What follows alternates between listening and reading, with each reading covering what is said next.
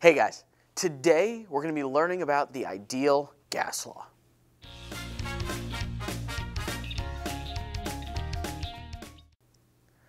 All right, so ideal gas law. Now, the ideal gas law is a mathematical relationship between a number of variables. The pressure, the volume, the number of moles, and the temperature of any ideal gas. When the last video we talked about kinetic molecular theory, which is the fact that molecules of gas have actual physical properties. They are things, it's matter.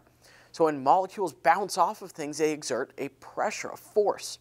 Molecules moving, it's because they have kinetic energy due to temperature, right? Number of moles is just represented with the number of molecules present, and volume because any gas will expand to fill the container that it is in, the volume is simply representative of how much space the gas can fill. So all of these variables are connected. So let's start by discussing how the variables relate to each other. So in a lab, what we're going to do is we're going to look at how each of these are related mathematically by collecting data. But let me just go ahead and show you these representations off the bat, graphically speaking. First one we're going to look at volume, and pressure. Now, in terms of volume, if we think about what happens when we squeeze a gas together, we take a volume and we shrink it. What happens is the molecules of that gas all of a sudden don't have to move quite as far before they start colliding with the walls or with the pressure sensor that you have in that container. So that means more collisions, higher frequency of collisions. Higher frequency of collisions means more force exerted, exerted, more force exerted means greater pressure. That means that as you decrease the volume, the pressure increases. This isn't a linear relationship though, it's an inverse relationship. So that graph is going to look something like this. This would be an inverse graph. An inverse graph means if I've cut the volume in half, I've actually doubled the pressure. If I've cut the volume by 10, I've increased the pressure by a factor of 10. But mathematically speaking, in a formula, it looks something like this. pressure times volume would be multiplied together, relatively speaking, to give you a, a constant value. So again, if you double the pressure, you have to cut the volume in half for them to be equal to the same thing. All right, let's look, take a look at the next set of relationships. Let's, instead of looking at pressure and volume, let's look at temperature and pressure.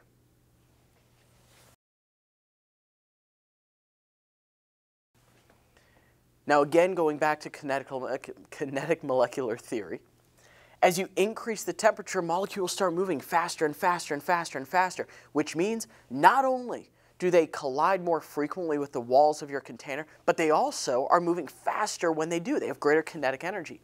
So in other words, as they collide with the walls, they're moving faster, so it's more frequent, and they have greater force due to their energies. This results in a greater pressure. So in other words, temperature and pressure are directly related. Graph's going to look something like this. That means if you double the temperature, you also would double the pressure. Okay, we're going to actually look at this relationship again in a laboratory setup. But what that tells us is that temperature and pressure must be on opposite sides of an equal sign. So what I'm going to do is going to go ahead and throw my temperature on the other side of the equal sign. Okay, another way you can think about this in terms of a proportion is that it would be P over T or T over P is always equal to the same exact ratio. All right, so pressure and temperature. Now we're going to look at the last variable, which is going to be number of moles. All right, so let's look at number of moles now. We represent number of moles in chemistry with the lowercase n. So when I see the lowercase n, what I'm really saying is number of moles. Well, let's think about this. Your car has air in its tires. As we start to squeeze more air into the tires using a gas compressor, what happens is the tire will inflate, but at some point it stops inflating. The volume can no longer change. Once the volume stops changing, what's happening is the pressure starts to increase. So what you see is more gas in the container, going again back to kinetic molecular theory, means you end up with more collisions, more frequent collisions. The molecules might not have more energy, but there are just more of them. So they're going to collide more frequently with the wall, thereby exerting more force and greater pressure. Again, just like with temperature, number of moles is going to see a direct relationship to the pressure. Which again tells us it's going to be on the other side of the equation. So right now we have a situation where we have PV, which are inversely related to each other. We have N, which is directly related to P, and T, which is directly related to P. Now you'll notice I always go back to pressure here. There's a reason. It's easier for me to conceptualize pressure. I have a hard time conceptualizing how the number of moles impacts volume or temperature impacts volume directly. I always tend to go back to pressure and then use the relationships that kind of come out of that to relate each other um, to themselves. But here's the thing. PV does not equal NT. If I do this math, I find that the values aren't equal to each other. There's something missing. So now what we're going to do is we're going to talk about the thing that's missing. So the thing that's missing in this whole process is something that we refer to as the gas constant. Now the gas constant is, as the name suggests, a constant value. This constant value relates the actual um, relationships between pressure, volume, number of moles, and temperature. So as you see, based on what we just determined using our graphs, pressure and volume are inversely related. Pressure number of moles, pressure and temperature, those are directly related. Therefore, you can see the relationships between each of these variables. In order to come up with a mathematical, quantitative way of doing calculations, the gas constant was developed. And the gas constant is represented by the capital letter R. And there are actually a few values uh, that R can take on. The value that R takes on is based on the units that you're going to be using for your pressure and or what you're going to be looking for. So when we talk about thermochemistry, oftentimes we actually use an R value that involves joules, whereas in gas law we tend to use it in atmospheres or millimeters of mercury or torr. Now the cool thing is, the nice thing is, you're never going to have to memorize these R values. They're always going to be given to you on a formula sheet. So they're not meant to be memorized, but you do need to understand when to input each one. And that's going to be based on the units, generally of your pressure.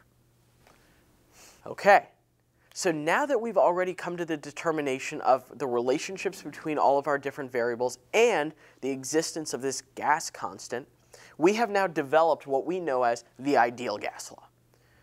The ideal gas law represents any gas behaving like an ideal gas, which remember in the last video we talked about follows those assumptions, the assumptions that no collisions are inelastic, so any, anytime they're bouncing off, they don't lose any energy. The fact that molecules don't interact with each other, and the fact that the molecules of gas, we assume, don't take up any space themselves.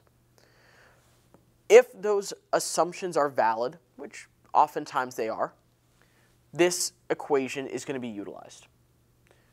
PV equals nRT. Another way you can often hear it is PIVNERT. PV equals nRT is one of the few equations that you are going to be using in so many of these units. But again, it's going to be given to you on the formula sheet. However, it is one of the easier ones to remember. So let's start with the practice problem. We're going to apply our ideal gas law here using this problem where we're looking for the pressure of a 35 milliliter metal gas canister that contains 0.5 moles of a compressed gas at 15 Celsius. So this is a prototypical ideal gas law type question where I'm given volume, moles, temperature, and I'm looking for pressure. Sometimes you're going to be given other variables, but in all, generally within your ideal gas law, PV equals nRT, you're always looking for one of those variables. So let's start by rewriting our ideal gas law and identifying what variables we have so that we know what we need to solve for.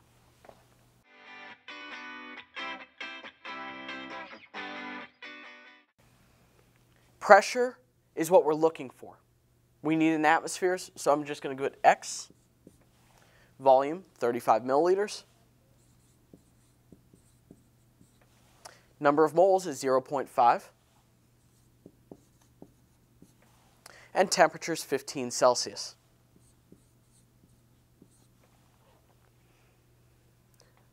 Now, one thing we also don't have yet is R. R, as I just said in the last part of this video, was the gas constant. And picking the R value is completely dictated by the units that we're using in this actual process. In this case, atmospheres is our unit of pressure. So we need to find the R that represents atmospheres. That happens to be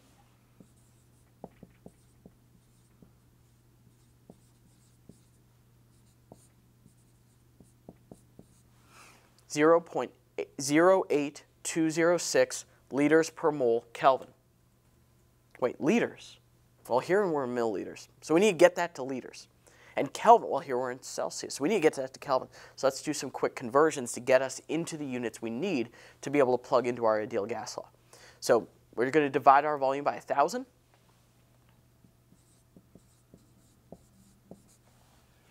And add 273.15 to our temperature in Celsius. So now we have all the variables we need. We've got our volume in liters, we've got our number of moles, and we've got our temperature in Kelvin. Kelvin's really important in gas laws because of the fact that, remember, these relationships are based off of the energy of particles. Kelvin scales perfectly with that kinetic energy because remember, zero Kelvin is absolute zero. No kinetic energy, no molecular movement at all. If we use Celsius, then what we end up with is the potential for negative values. We can't have negative kinetic energy. That's just not physically possible. So we need to use Kelvin in all circumstances within our gas law unit. So here we've got our values, and now we're just going to plug it in and solve for our unknown.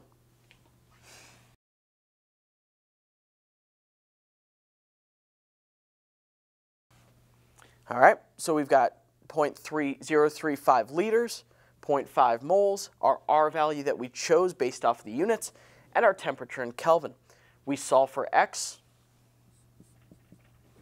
and we end up with a value of 338 atmospheres.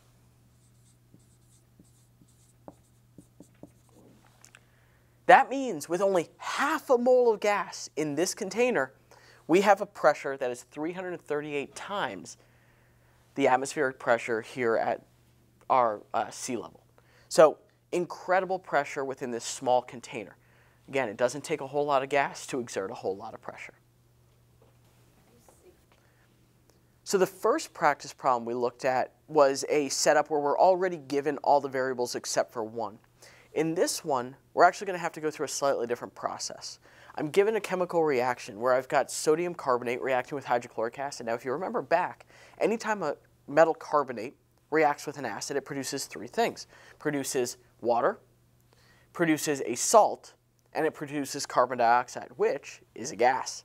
So we've got water, salt, and, and carbon dioxide being produced as a course of this neutralization reaction. Now here's the thing. I'm not given moles. I need moles. But I am given grams. But in this case, it's grams of hydrochloric acid. So I need to figure out not grams of hydrochloric acid, that's not my gas. I need to figure out moles of carbon dioxide. Because when I do PV equals nRT, it's the pressure of carbon dioxide. It's the volume of carbon dioxide. It's the number of moles of carbon dioxide, and it's the temperature of carbon dioxide in this situation. So what I'm going to do is first solve for moles of CO2.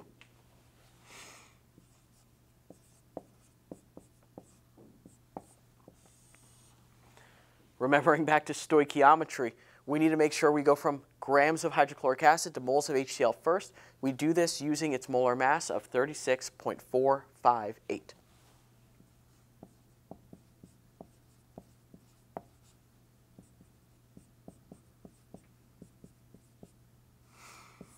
Now that we're in moles of hydrochloric acid, we're going to convert it into moles of carbon dioxide. Again, that's where we need to get to. So we're going into moles of carbon dioxide, which means we're using our mole ratio. One mole of carbon dioxide for two moles of HCl.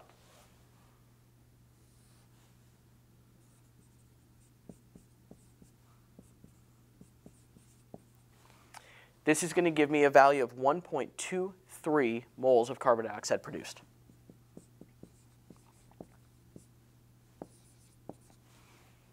Well, now I've got moles. Now I've got moles, and I've got temperature and pressure as well, which means I can plug into my ideal gas law. So let's go ahead and do that.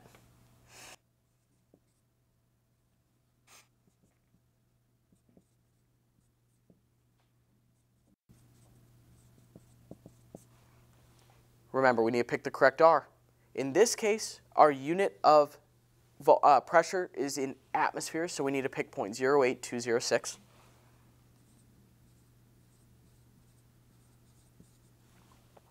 And when solving for x, we end up with a volume of 0.641 liters.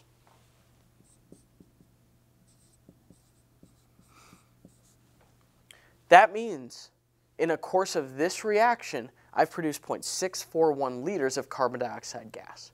So this is an example where we can use stoichiometry and then use that value of moles that we calculate using stoichiometry in our ideal gas law to find the volume of a product. Now the next thing we need to discuss is this equation. Now this equation is not going to be given to you. This is actually derived, and we'll talk in class about how it's derived. But the idea here is that we can connect in another variable that we haven't yet really discussed, density. Now density of a gas is really important. The reason density of a gas is important is because gases, by their nature, have both mass and volume. And remember, density is mass divided by volume. So it may, stands to reason that somehow density is connected to both temperature and pressure. Well, this makes sense because hot air balloons rise because they're less dense. Well, if they're rising because they're less dense, it's, they're hot air balloons, which means as temperature goes up, density must go down. Well, that means that they must be on the same side of the equation. So it's temperature and density are inversely related. Right? That's why hot air balloon rises. It's more buoyant due to its lower density. So when we look at this equation, I will tell you how to memorize this. It's called the molar, cat, molar mass kitty cat. There's my molar mass kitty cat. Forgive the art. But here's the key to any good kitty cat. Any good kitty cat covers their pee with dirt. This is how we can remember the molar mass kitty cat. Molar mass, big M, is equal to dRT, so density times our gas constant times our temperature in Kelvin, divided by the pressure. Many times we can use this to determine the identity of a gas. So by identifying the molar mass of the gas, we can then identify the gas itself. We can also use prediction, make predictions based off of the relative mass of a gas as to how it pertains to its pressure or density depending on other circumstances. This is a very common equation that you will need to use, and it's not given to you, which means either you're going to have to derive it or memorize the molar mass kitty cat. All right, so let's go ahead and apply the molar mass kitty cat.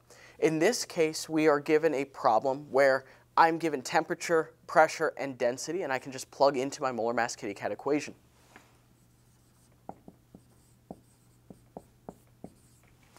In this case, I'm given the density, but sometimes you might just be given the grams and the liters, right? Which means you'd have to solve for density, but that's okay, you can do that.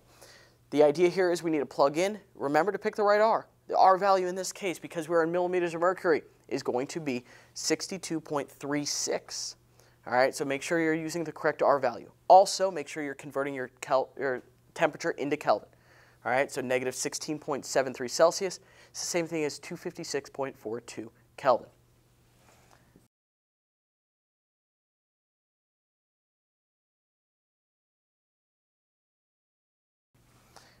If we solve, our molar mass comes out to 84.06 grams per mole.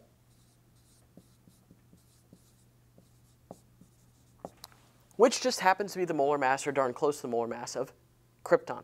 Which means that I could probably say that this gas in this container is, in fact, krypton. All right, so that wraps up today's video. Today we learned about how to apply data into the ideal gas law. So the ideal gas law, PV equals nRT, is one of the most commonly used equations in AP chemistry, and it can be derived into another commonly used equation that I like to call the molar mass kitty cat, where its molar mass is equal to dRT over P. Remember, all good kitty cats cover their P with dirt. That's the mnemonic you can use.